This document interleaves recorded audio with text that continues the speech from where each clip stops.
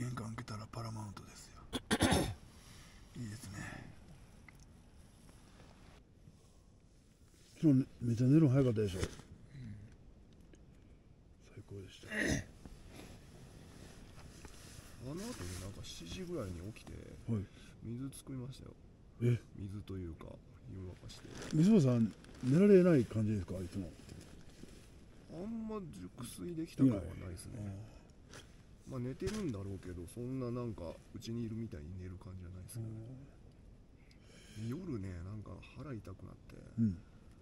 もう腹下して結構やばかったです。薬飲2時ぐらいかな。薬飲んだ方がいいね、ちょっと薬よく目に飲みましょう。ビオヘルミンもあるんで、抗生剤と腹痛はやばいね確かに家にいるような感じで寝れないですね。ねもう常に常にあれでしょ。敵が来ることを想定して座って寝るタイプでしょ。もうそこまで行ったら。そんな感じですそうでしょ。もうそこまで行ったらそんな感じですよ、もう山でもどこでも熟睡です、うんバスであろうが。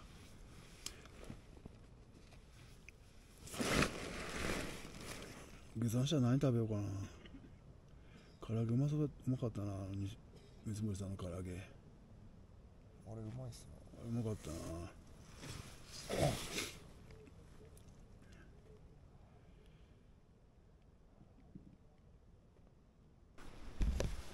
アルパマヨが一段と今日は輝いてますよ。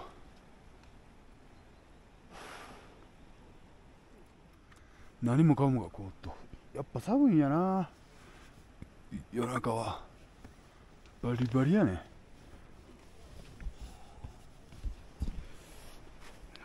寒い寒い寒い寒い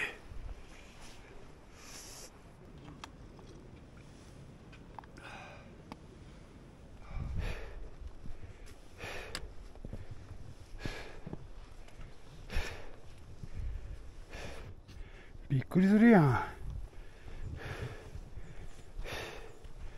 よしちゃ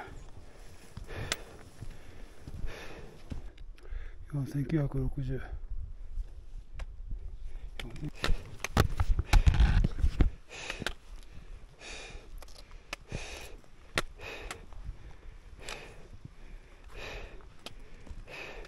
まあ、アレックスの日程もあるかもしれないですけど、まだまだ動きあるし、無理しなくていいんちゃいますか？うん。それだったらもうここに、これ置いといて、今日下で泊まって、明日ここでも泊まって、でもいいし下で休憩入れてもいいし。あいやまああ上がりますよ別に上がるのは問題ないけどもう後で何かあった時に泊まりますよ。後で。いやいやいや大丈夫ですあの一昨日もこういう話になったと思うんですけどね、いけるやろっていう行動はあんまり良くないと思ってて、この校舎では。リスクをもを見た方がいいと思うんですよ。だから、食料もそうですけど、上で2日で行けたらいいけど、どっちかが体調悪くなって、2日で行けなかったら、食料持って上がらないといけないし、そうなったら、食料を下ろす方がまだいいと私は思っててね。でこれがあのボクサーとかやったらいいんですよ。ボクサーとかやったら自分をメンタルアップさせるのにいやいけますよっていうのはいいと思うんですけど校舎はそうにはいいかないと私は思ってて先月校舎登ったから今月今月も同じように行くかって言ったら1ヶ月近ってもやっぱ違うと思ってるしだからやっぱり三堀さんの体調はは心配やからその気持ちはいけると思うんですよ多分。三堀さん強いし。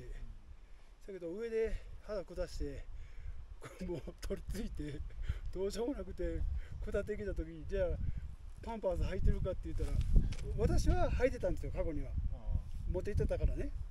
恥ずかしいけど履いてたことあるんですよ。でもやっぱ日程を逃せへんからもうパンパスの中に漏らしてもこの天気を流したくないと思って上がったこともあるしそれはありやと思うんですけどこの当班が2人とも知らない場所でまあ聞いた人らの話ばっかり鵜呑みにしていかそうやなとかどうやなっていう情報を今やってるじゃないですか。となった時に三笘さんが 5500m でうんこしたくなったらいや僕もベスト入れんだったら今日上がって、降りて降りたその次の日だと思うんですよ、に休みましょうか。うん。これ上げちゃってね。そうするとだいぶ多分体調も、循環も進んで体調も良くなるかなと思って。下にはあの下剤あるしあの抗生物質でダメやったらもう一回下剤飲んで出すもん出しちゃってあえてねあえて。っていう方法もあるけど下剤飲んだらかなりきついんですよ。もうもうずっと水弁出るから。治るは早いんやけど。もし水間さんお前いけるんやったら予定通りもう一旦上げちゃって。いやとりあえずは今日は上げちゃいますそれで OK で、うん明日どうするかって感じでうん。じゃあそれそれより今日の朝ラジオ体操してないんですよ。あそうかだから多分それとも体調が悪いのかもしれない。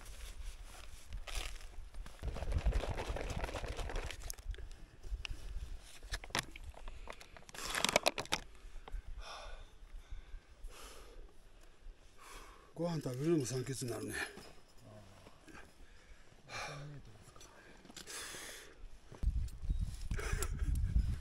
やばい。やばい。やばい。それはやばい。背負いたくなさすぎて。うん、背負いたくないですよ。この身につけていかないと。だって重くでも肩にかかってるじゃないですか。いやいやでもね身につけてた方が全然楽。ほんまに。ザックの重みがない。これはやばい。まあいつものことですから。なんか持っていきます？え？なんか持ってあげます多分ちょい余裕があると思ういやいや、そんな。そんな それでやられたらどうするんですか？今はここはいいです。こなかなかプライドが高いですねこはいいんです。ここはいいけど、上で。白い目なんだってどうするんですか？思い出してください、カシャパンパン。いけそうやわ、言ってるじゃないですか。こ れ標高上がったらね。思わぬ症状が出ますから。あれでしょ。標高上がって苦しくてもにニヤつくでしょ。ニヤニヤしちゃうでしょ。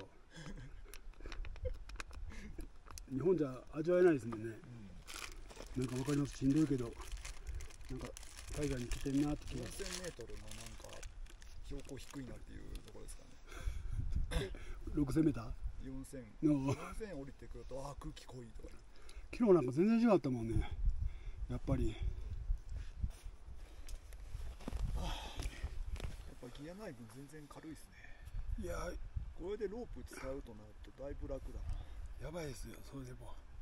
もう私は今な今を悩んでますもう。いやあの片山さんの装備だと2日に分けて上げるのはいいけどお下ろすの1日じゃ厳しいんじゃないかこれでしょ。えでもこれはいかないと。何か妥協するか。明日休憩しましょうか。最初からそうします。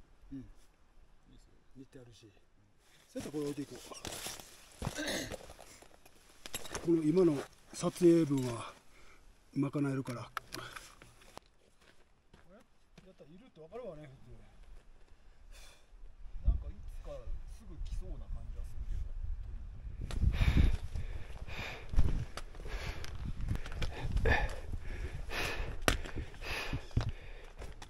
こういうような歩きも心臓破るわ。ほんま。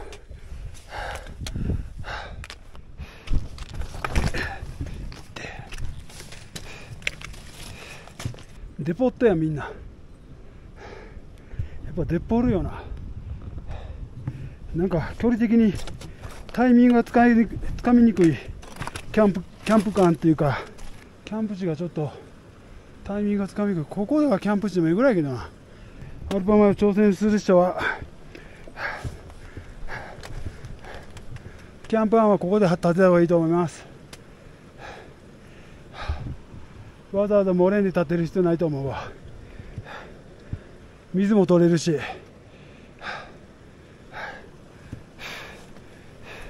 距離ちょうどなるべく詰めれると思う。なんならもう一個上に上がってもいいぐらいや。昨日昼過ぎにはもうここついとったからな。氷が移ります、はあ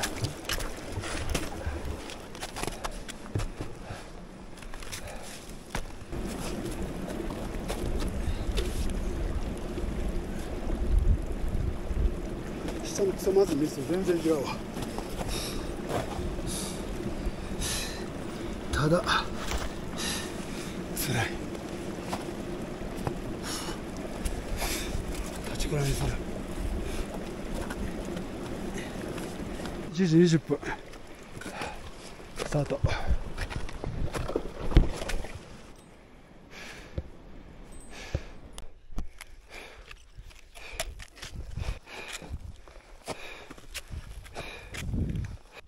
深いですこれはスタイ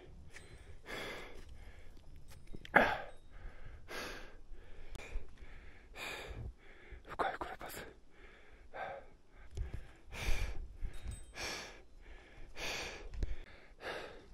標高5000 5150第2クレバスタイ。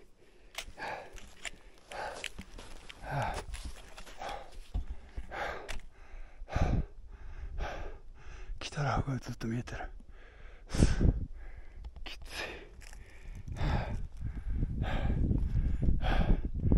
水口さんも調子良さそう。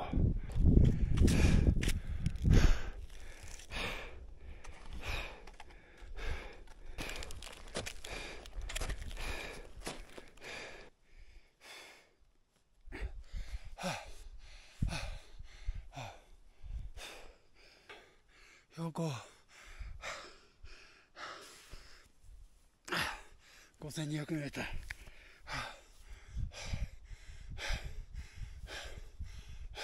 さすがにさすがに寒い。寒くなった。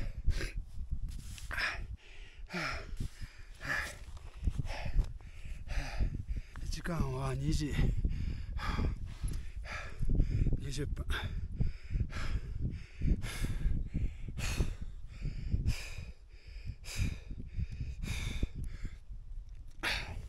今第二。これはスタイかな。の上に上がったとこ。きつ。あったかい。あったかい。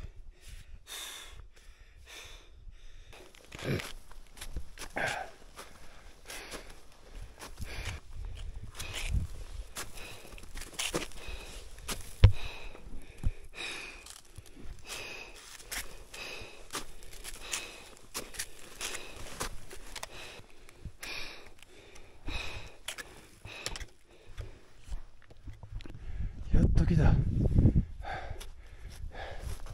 最初の核心このセラック帯は毎年条件が変わるらしいから。今年はどうなるんやろ。クレバス。ほらこう分かるかな？めっちゃ深いんや。こう分かる？向こうからずっとつながって。めっちゃ深い。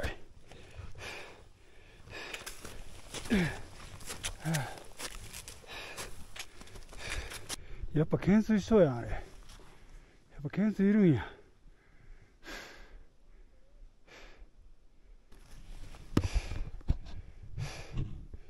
標高5250 15時。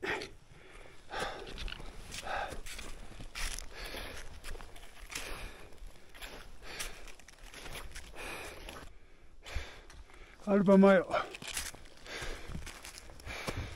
他の山々の方が低く見えるようになってきた。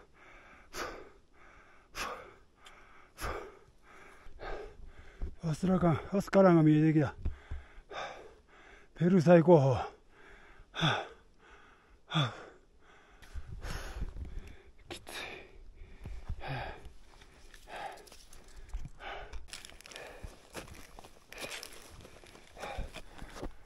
すげえ寒い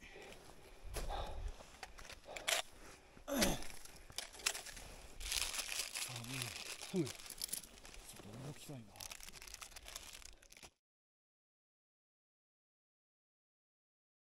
テントはここにあって。張って。うん。いやうんその方が。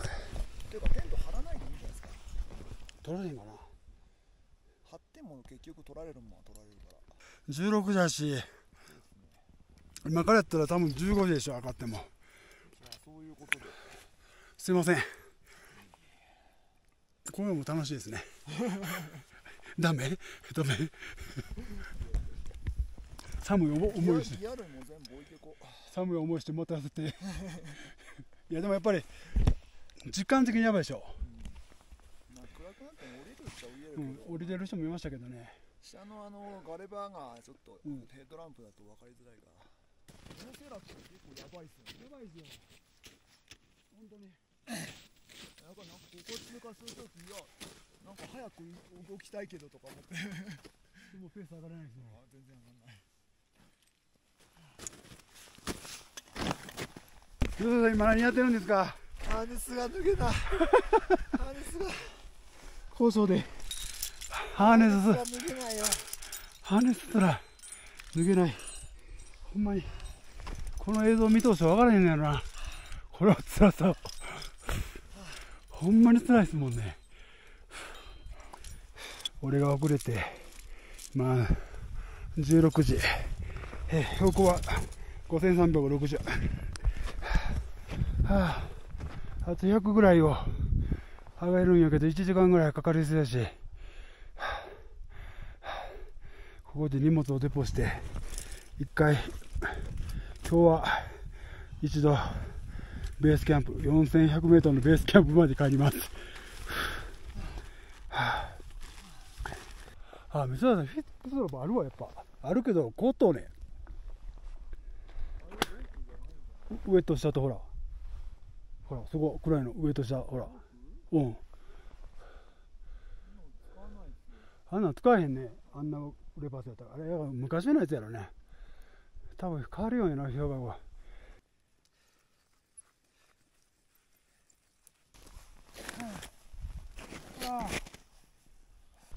三堀さんはハイゼンつけたと思ったらつけれませんでした。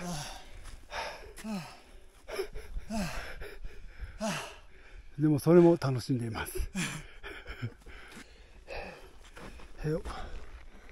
当反射降りてきました。16時30分ちょうど。下山開始です。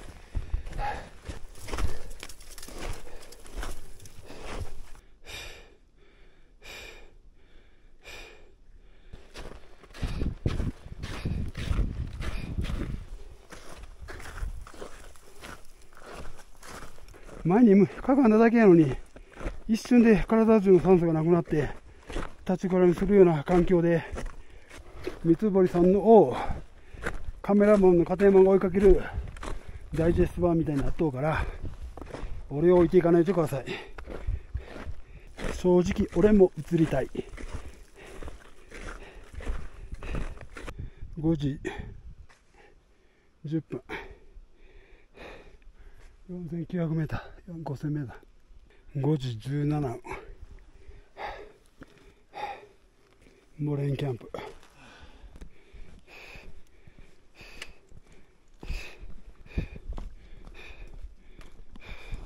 フルーツカレー。ハンバーグうまいね。めっちゃうまいでしょ